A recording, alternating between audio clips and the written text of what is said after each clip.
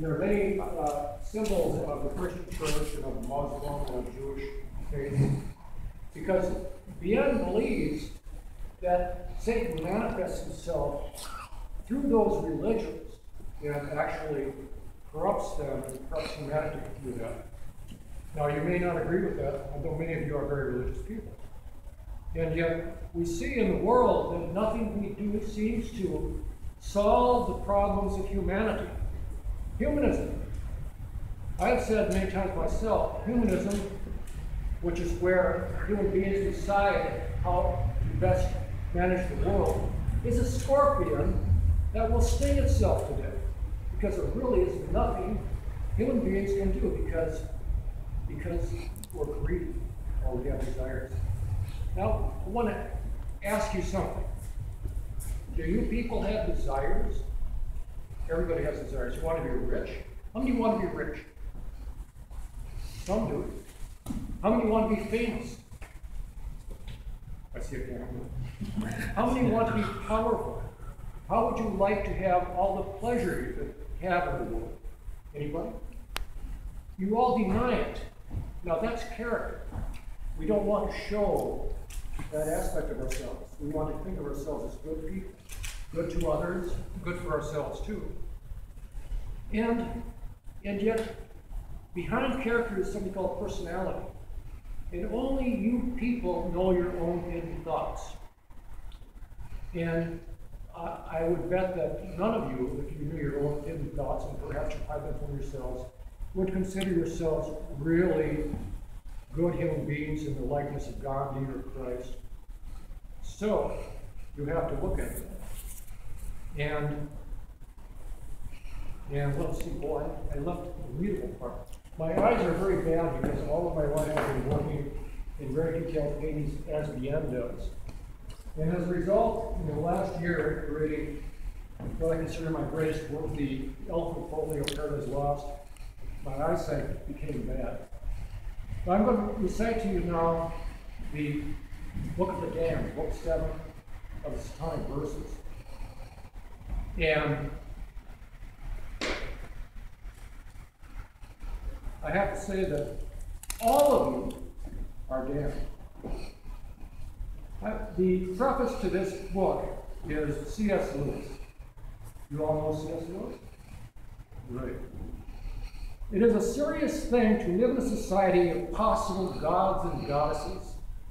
To remember that the dullest, most uninteresting person you talk to may one day be a creature which, if you saw it now, you would be strongly tempted to worship, or else a horror and a corruption, such as you now meet, if at all, only in a nightmare. Now we begin the verses of the The wise rulers, Euro-Asian Euro American, the cult prosperity spirit, democracies, a fiction not by men elected, by Satan. I know the rights by which they rule. The world is made of numbers. Pythagoras knew, Father Guru. I know their numbers and their shape, the pentagon, Satan's star. Ruled we are not from among our own, but by the ever unchanging high order of that satanic club the enlightened ones, to do good, they say, and no marvel, for Satan himself is transformed into an angel of light. Therefore, it is no great thing if his ministers be transformed as the ministers of righteousness. They will perform wonderful works for humanity and feed us milk and honey, but it will be bitter in our mouths like that little book of John. The number of the beast is the number of a man, and his number is 666. Understand one thing the kingdom under the Antichrist more glorious than any earthly kingdom, the height of man's endeavor and achievement. All will welcome it and abide by its benevolent rules. My further revelations here have been banned by those who fear. The mighty men who rule would not approve. The march of freedom and democracy and truth is a dung heap of dreams. Yes, wonderful works for humanity, and feed us milk and honey, bitter in our mouths. For you are the numbers by which the beast rules, by the numbers of the mortgage you hold and must repay, by the numbers of the interest rate under which you groan. Hangs from one golden thread of one great thing that when a man owns, he wants more, always more, and will borrow for a dream of future happiness, and then will slave until his dying day to repay. Numbers all, under the beast. How many men to mine? How many men to build a throne for Satan, a tower above God Himself? How many hands? How many minds? Salaried all, but the beast gets back in interest.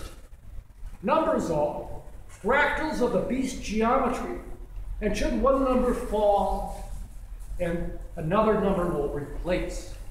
You are numbers all. See the wonders for humanity, to build a church of Satan, to rival God. Be proud of your labors that shine in glory, in homage to the beast.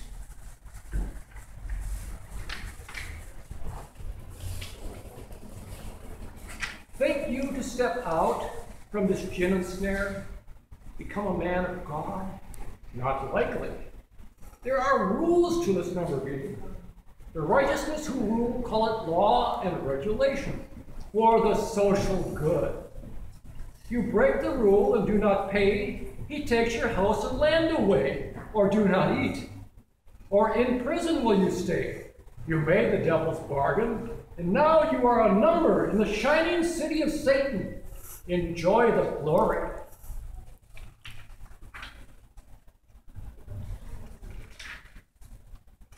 Slave to salary and mortgage, drown your sorrows in the splendors of his kingdom. With the opiates he offers of lust and of desire for more and more. Yes, bitter is the milk and honey.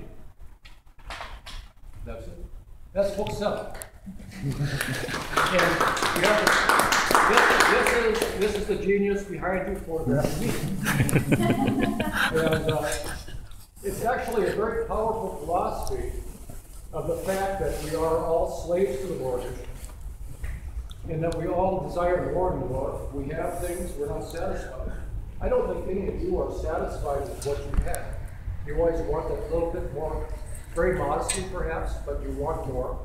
And the more you get, the more you can get, and we're led on. And for for what? Dust to dust. And for the glory of what? A glory for the men of power who, who, who, really do own everything. And they build great cultures, great societies and you know, great, great monuments and buildings and, and paintings. They have museums for you. You can come and look, but it's for them because they are Satan's minions, and you can't get out of it. You want to be good, you cannot. And uh, you can be like Gandhi or Christ, you know, or whoever. Give up all your wealth, you know, and. Uh, I have to say that Bien does not believe in money. I know that for a fact. I gave up all of my